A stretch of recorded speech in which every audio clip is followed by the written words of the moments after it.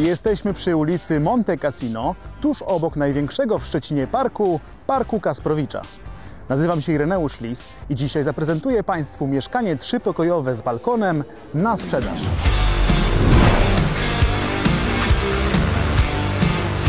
Na powierzchnię prawie 53 m2 składają się trzy pokoje, kuchnia, korytarz oraz łazienka.